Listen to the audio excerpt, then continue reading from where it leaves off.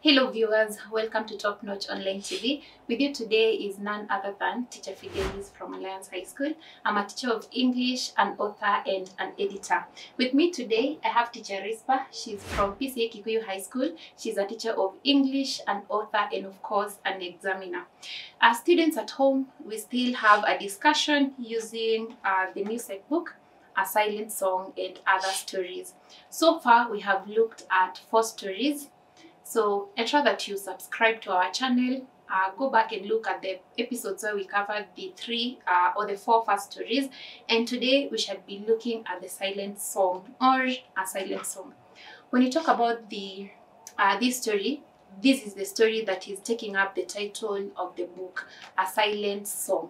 So when we look at this uh, story, just as we have done in other stories, we shall be looking at the plot summary, we shall look at the characters in the book, and the themes. So to start off, we shall be looking at the plot summary and teacher Rispa will take us through. Thank you for joining us, viewers. Uh, when I'm looking at a silence, a silent song, first of all, I'll talk about what is said about silence. Silence is golden. Silence speaks volumes. Yes, that is it about silence. Then on to the story, a silent song. Looking at the title of the story, the story is the one that bears the major title of our short stories. It is talking about a silent song and other stories. And then I look at the combination of the words silent and song. Looking at silent and the word song, it comes out as an oxymoron. Uh, two conflicting ideas. How can you be silent and at the same time you are singing? Now, into, uh, into the understanding of our story, a silent song is a story about Mbane. And Mbane has been having some kind of reflection about his life. He is silently reflecting over his life a number of times. And when something is done over and over, it almost becomes a song. Yeah. That is it about a silent, a silent song, the relevance of the title. A reflection on Mbane's life. Now, who is Mbane? Mbane is a person who is physically handicapped. We are looking at a person who is blind as well as crippled. Another thing we are being told about Mbane is that Mbane used to be a beggar in the streets of Nairobi. A Silent Song is a story by Leonard Kibira, a story that emanates from Kenya. Mine is to take you through the plot analysis of the story. The plot analysis, what exactly is happening in the story? What do we need to understand about the story? That is it about uh, my, my role for today. I'll break this story into a number of episodes. I'll take the episodic approach. The first episode, I'll be talking about Mbane's illness. As the story unfolds, we are meeting Mbane. As I had earlier said, he is blind as well as a cripple. He had been living in the streets of Nairobi until when his uh, he had been living in the streets of Nairobi as a beggar until when the brother rescued him and took him to his place. The first episode that we had mentioned that it is about Mbane's illness. How much is Mbane ailing? Maybe from the illustrations in the book, we are seeing that Mbane, first of all, he is bedridden. A bedridden uh, person is someone who is extremely sick, a person who is not able to get out of bed.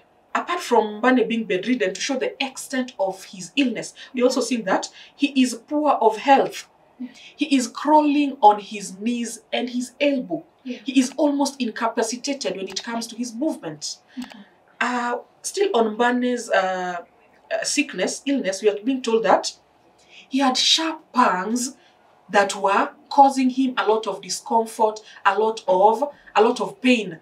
And the, when the pain would come, Mbane would withstand the pain, mm. but then he says not for long because Yeah, the pains would would- would recoil come. and then come back with a more small severe attack. Yeah. We are able now to conclude Mbane is extremely ill as he is be, being bedridden Mhm. in a house belonging to the brother. In fact, you're are being told it is flea infested. Yeah. We're also seeing some element of poverty that the place he is being hosted in, the hut, it is a flea infested. I go to the second episode. What else about this story? We also want to understand about the second episode, I'll call it Mbane's life in his brother's house. From what you're learning is the brother, his name was Ezekiel. Ezekiel. Yes. The brother Ezekiel was a preacher, first of all. And the brother, he had felt the need to rescue Mbane from the streets of Nairobi. And when he, he rescued Mbane, his main aim was to convince Mbane that he should receive Christ so that he may uh, he may sit to heaven. Yeah. The brother believes that if he does not receive Christ, Mbane will not end up uh, going to heaven. And uh, he keeps reminding Mbane constantly, I rescued you from that harsh life so that you can see the Lord. Mhm. Therefore, you're even seeing that the brother in rescuing Mbane, he Mhm. had a mission. Another thing is uh, when he's living in that brother's house, we are seeing that he describes the environment, the uh, the environment as being. Uh, he's describing the environment as being silent. Yeah. There's some kind of serenity in that environment. As much as it's serene, there's also some element of suspicion. Yes. There's also some suspicion in the brother's recent silence. Mhm. The brother has been silent for quite a, uh, some time. And when someone is silent, it communicates a lot. Now Mbane is starting to think, what might be in my brother's plans? Why is he suddenly that quiet? That is what you're seeing about Mbane's life in his brother's house. Mhm. His brother's house is also in the rural. Still on his brother's home, we cannot move away without mentioning that his wife had, a, his brother, sorry, his brother had a wife. by the name of Sarah, Mhm. and Sarah used to take care of Mbane. Uh, Sarah was the one who used to administer some bitter herbs. She's the one who comes, she's the one who slowly raises his head carefully. At the same time, you're seeing that she's being very careful in the way she handles Mbane. And she's the one who is giving him the bitter herbs. And at the same time, she's encouraging him to swallow, encouraging him that God will God will see you through. That is it about the brothers' home. We go to our third episode. What about the streets? About the streets, we are learning through the streets through a flashback. Yeah. When you're meeting Mbane, Mbane has already been rescued from the streets. But then there's an element of the streets that he misses it. He reflects back on the streets with some kind of nostalgia. Yeah. He misses the life of the streets. How much can we say about the lives of the lives of the streets? Mhm.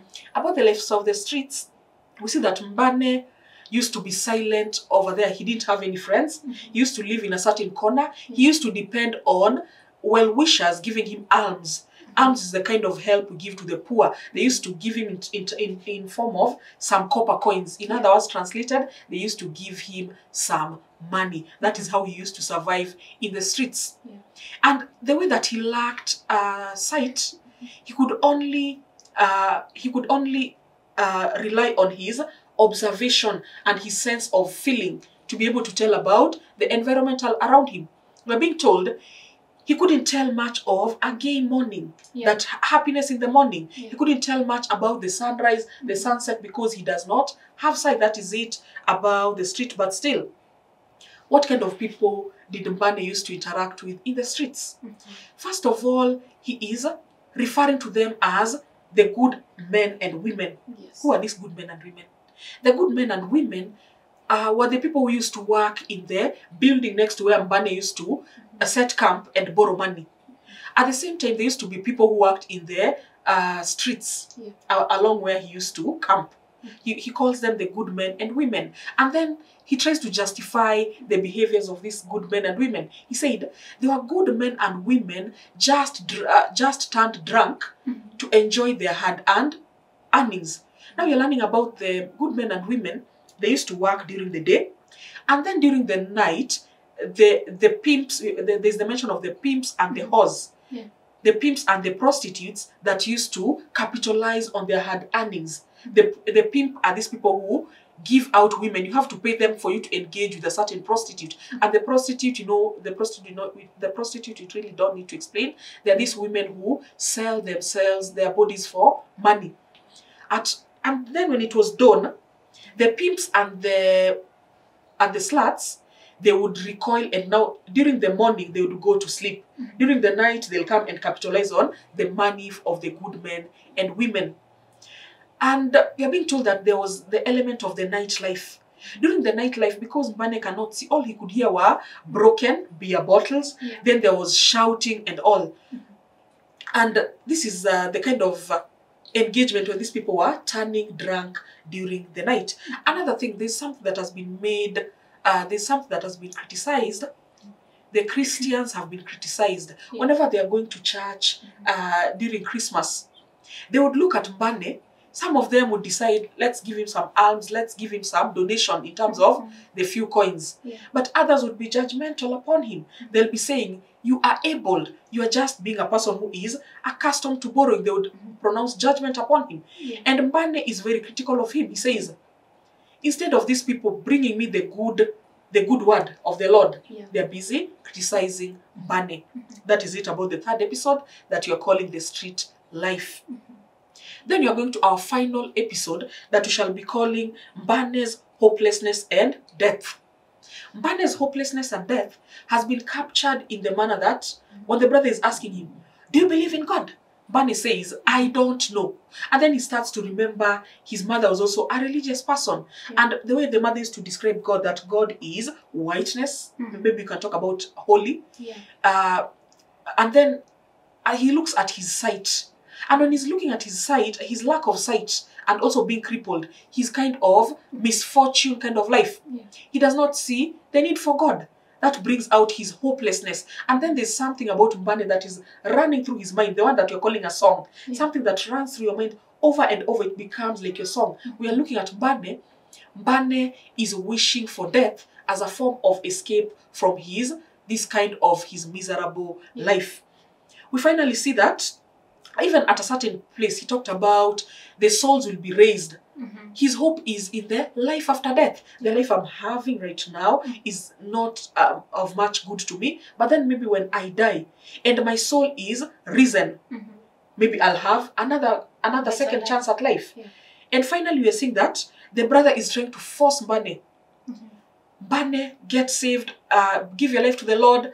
And then Mbane is very honest. He tells him, I'm not sure I believe in God. And then finally, we, sing, we are seeing that Mbane looks like he is, life, uh, his soul is leaving his body. But as the soul is leaving the body, Mbane is smiling. We're wondering what is so good about dying. This guy has found a relief in death. When he is dying, the brother and the wife can observe that the guy was smiling. When they feel his pulse, when they feel his forehead, life has left Mbane's body, but then he did it as he was smiling. What could you tell from that? You're telling that Mbane gains some kind of relief from death.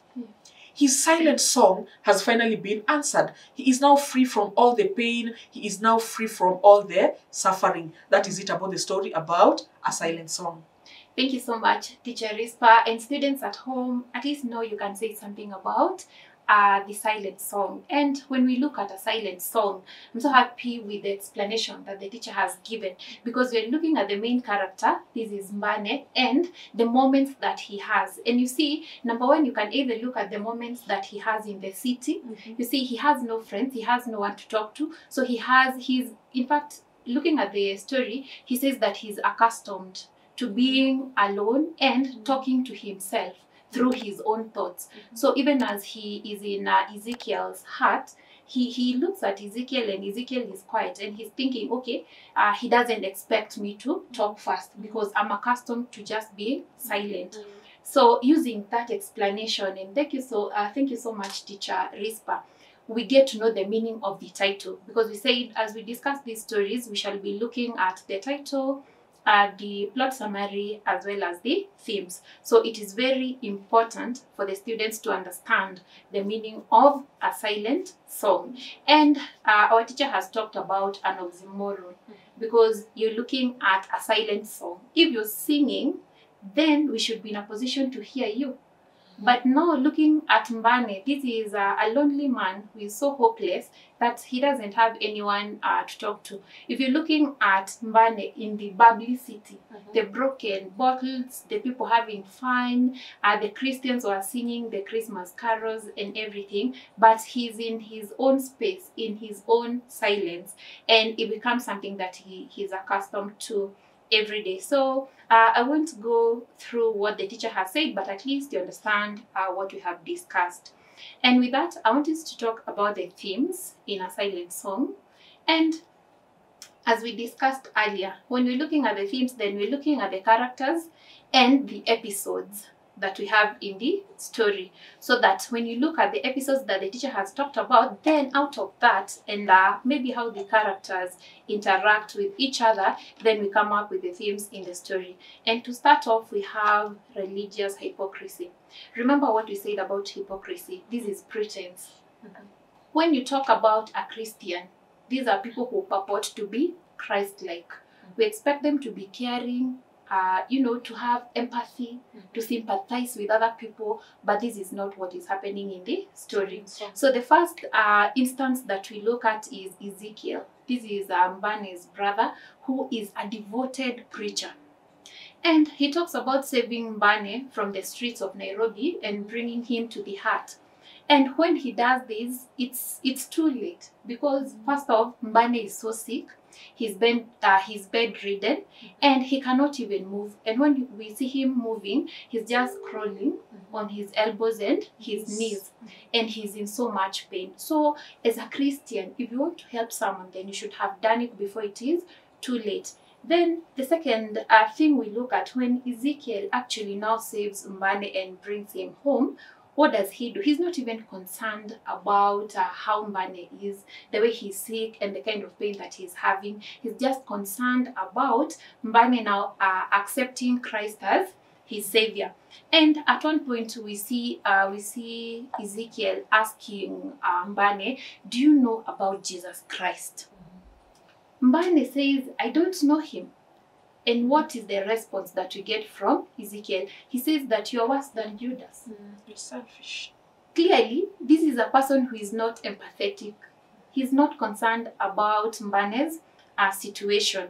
Now the next thing we look at when uh, mbane was in the streets he's talking about the good people the christians in this aspect. When you look at page 19 you'll see that information they were just singing uh, their hallelujah uh, dancing. And when he thought about these people he thought that they would talk to him about the gospel of of the good word or, or the good word right? But what they do they give him some cash uh, just some copper coins. Yeah and uh, what they say and i'll read uh, some good christian men and women would curse and call him able-bodied only crippled every day by the idleness of leisurely begging Mm.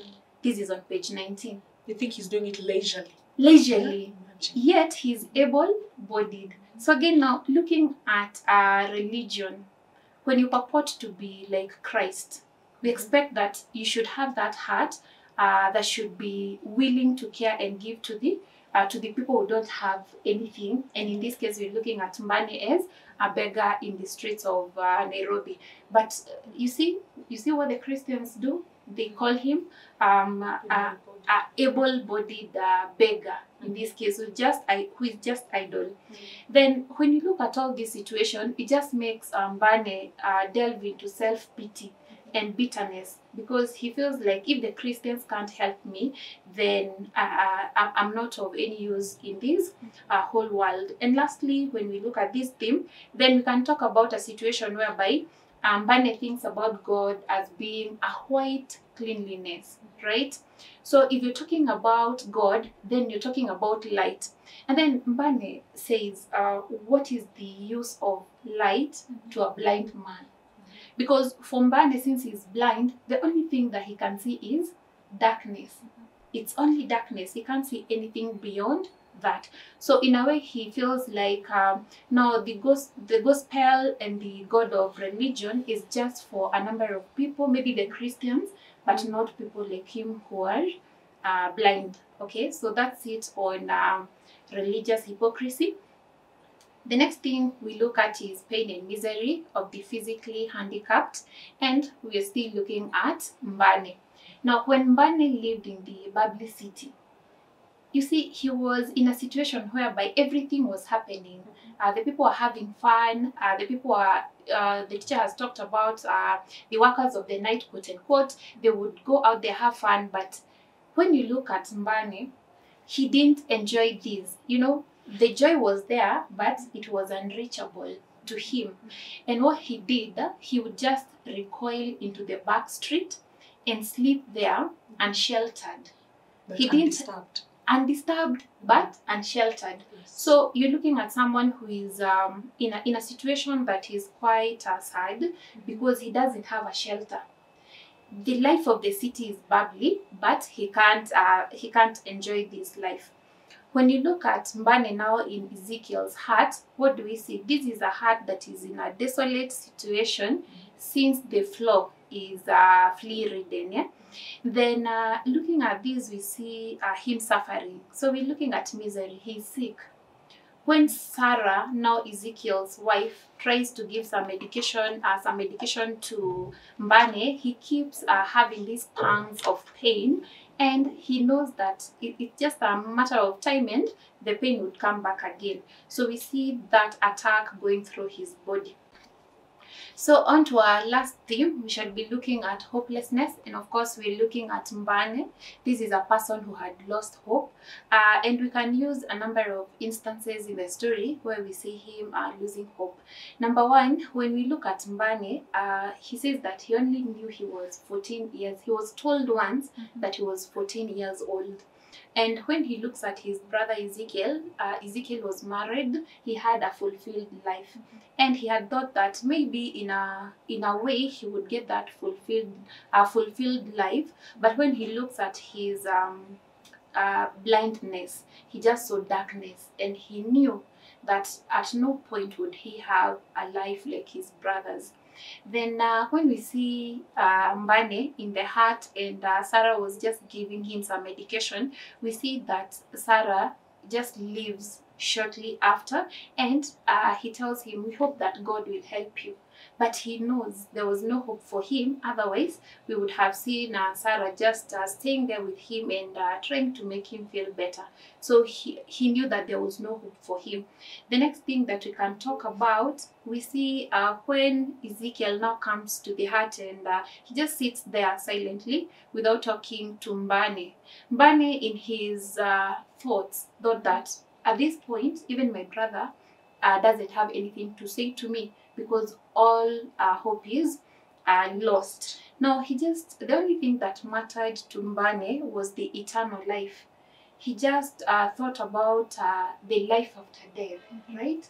Uh, he just thought about the time whereby he would just die and he would be free of the pain that he was having. And uh, we are told in the book that the only thing he could see was the bitter limits of darkness. So, in his blind state, he still didn't have hope uh, of a better future. And uh, couple these now with his ailment. This is a person who's so hopeless.